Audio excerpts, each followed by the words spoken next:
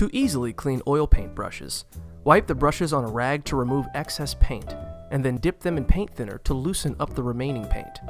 Then wipe the brushes in the rag again to absorb the paint that was loosened by the thinner.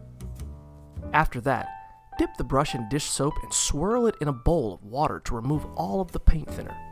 Finally, wrap a clean rag around the brush and squeeze the bristles to remove the excess moisture before laying the brush flat to dry.